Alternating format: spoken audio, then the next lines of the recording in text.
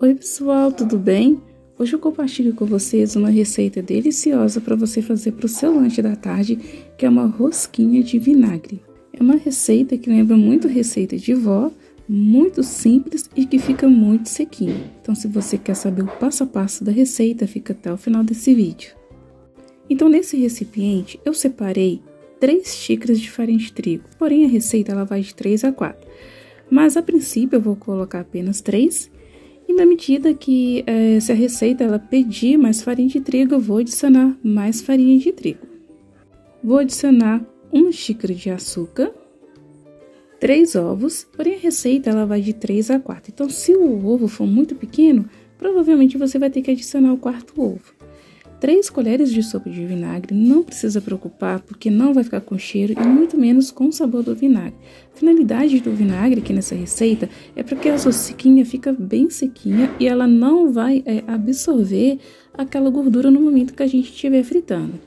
3 colheres de sopa de óleo, uma colher de sopa de fermento em pó, fermento para bolo.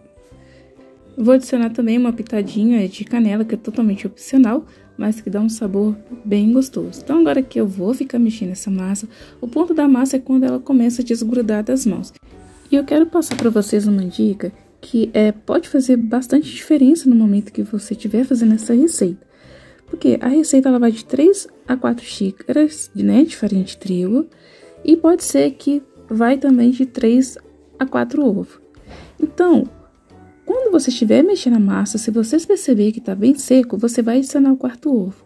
Mas ao invés de você adicionar os quatro ovos de uma vez, você bate ele e coloca só metade, porque se você colocar o quarto ovo, pode ser que a massa já fica mole demais e vocês vão ter que colocar bem mais farinha de trigo, tá? Até vocês atingir o ponto correto da massa. Então aqui, olha, eu já fiquei mexendo bastante.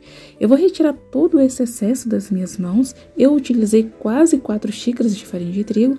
Então, eu vou lavar, retirar todo esse excesso para saber se realmente tem necessidade de eu adicionar mais farinha de trigo ou não. Então, o ponto correto da massa aquela massa que ela fica macia, ela desgruda completamente das mãos, não pode ficar uma massa muito seca. Então, já retirei todo esse excesso das minhas mãos, tá? Vocês percebem que ela não gruda, tá? Eu consigo modelar os biscoitos. Pode ser que às vezes ela fica assim, pregando um pouquinho, mas vocês não vão adicionar mais farinha de trigo. Por quê? Porque quando a gente for modelar na bancada, a gente vai é, polvilhar um pouquinho de farinha de trigo. Então, se vocês colocar farinha de trigo nesse momento, vocês podem deixar a massa muito seca, eu já tenho aqui um tabuleiro, tá? Eu polvilhei um pouquinho de farinha de trigo, só polvilhei mesmo, para que quando eu for modelar as rosquinhas, eu vou colocar aqui dentro do tabuleiro para não grudar, tá? Então, vou deixar o tabuleiro aqui no cantinho e já vou polvilhar um pouquinho de farinha de trigo na bancada. Então, pessoal, já comecei já a modelar, tá? Uma rosquinha.